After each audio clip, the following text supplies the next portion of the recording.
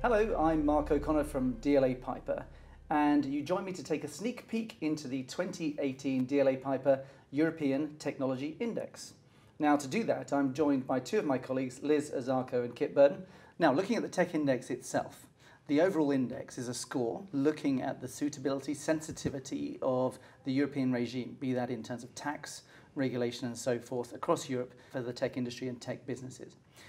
Now, looking back to 2016 and looking at this year's index, the overall score is the same, but the underlying figures are quite different. Now, to what extent do we think this, this continuity of score perhaps is indicating uh, an increased maturity in the, in the market more generally? Liz, what do you think? I think that's very much the case. I think you know that headline figure doesn't really tell the true picture, so we need to drill down. If we look, for example, at something like the attitudes to cloud, what we're seeing there is a very different picture than we were in previous years. There is a maturity, there is an acceptance that this is the new normal. It's not something to be scared of and it's not unbroken water anymore.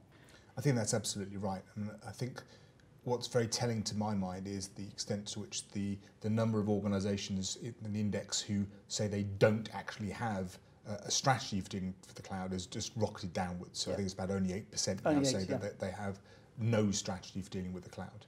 Now, that's slightly different to the question as to whether or not those people who say they have a strategy actually have a good strategy or actually live to it.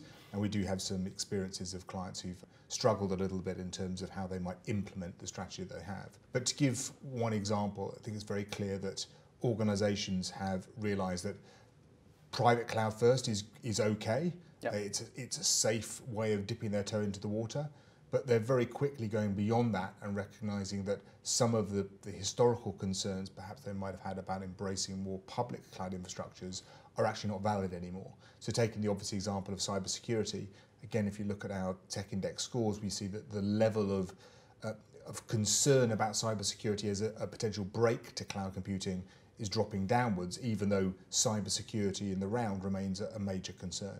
So what we can take from that is a recognition that perhaps some of these major cloud providers do in fact have a higher level of security than the organizations who are their customers.